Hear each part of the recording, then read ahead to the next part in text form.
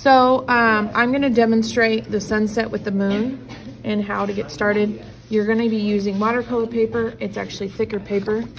Um, you want a pretty big brush, not super big, but um, a large brush. Maybe a smaller one to go around your moon to be careful on areas that you wanna stay away from. Um, on whether you're doing the sunset, whether you're doing the moon, they're all kind of the same concept.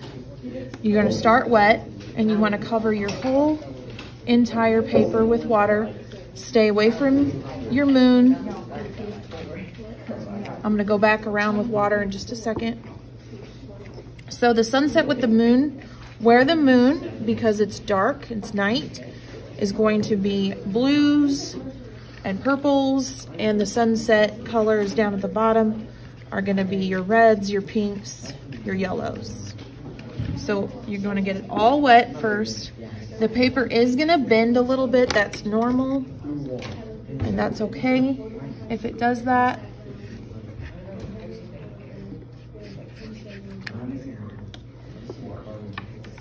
I am staying away from my moon.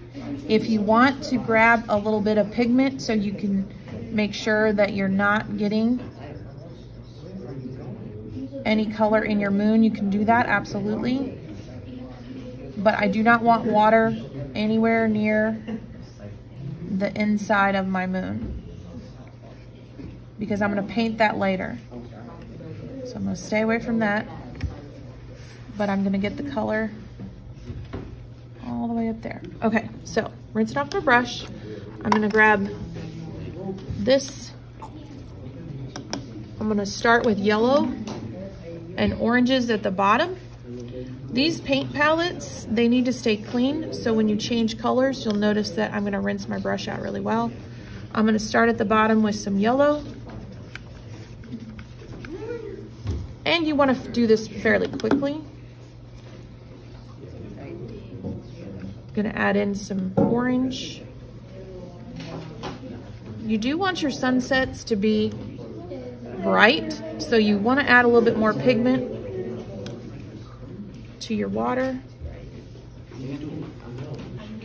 So you wanna start with yellow, mix in your orange, the wet. You don't want it to puddle too much, but you want it to be wet. Okay, from there, I'm going to do a pink color.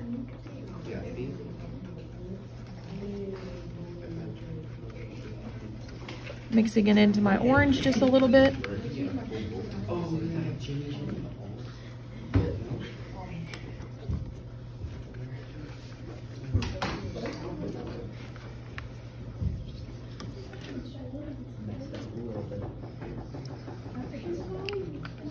Okay, and then I'm gonna change to purple and then I'm gonna go to blue near my moon.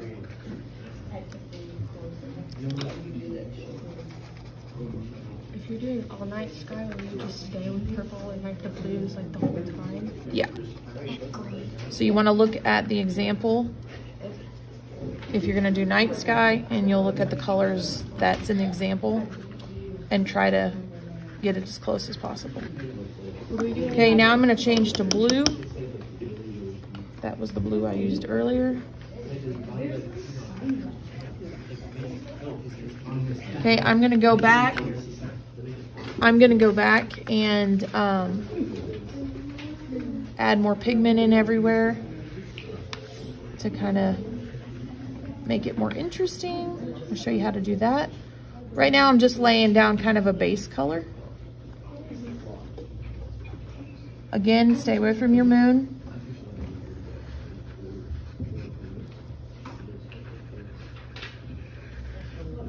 All right, so now what I wanna do is kind of add colors like within the other colors.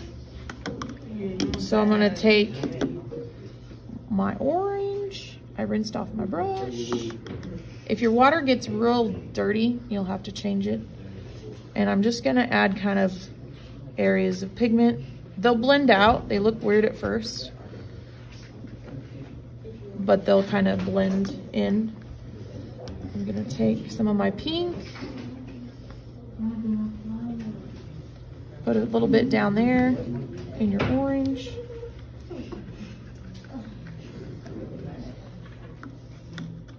Take some of my purple, do the same thing. Now, I don't want it to be splotchy, so you can go in with another brush and kind of blend them out a little bit. So it doesn't look like paint splatters. Again, you don't want it to puddle. But I want it to kind of look like hazy, like clouds. So that's why I'm adding in more color. So now I need to do purple.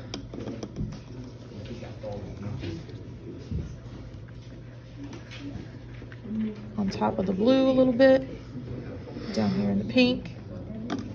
Probably up here in my blue a little bit. Go in, kind of blend it out.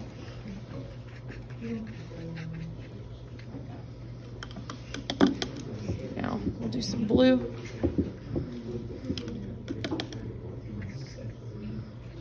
If you'll notice, I'm working pretty fast because I don't want my paint to dry and that's when it won't blend out if it gets too dry. And if I have a dry spot, I'm just gonna add more water in.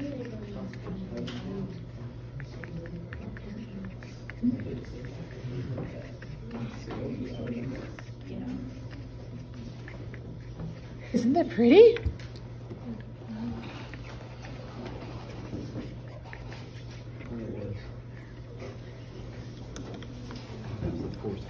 Okay, that's how to do it. That's your background.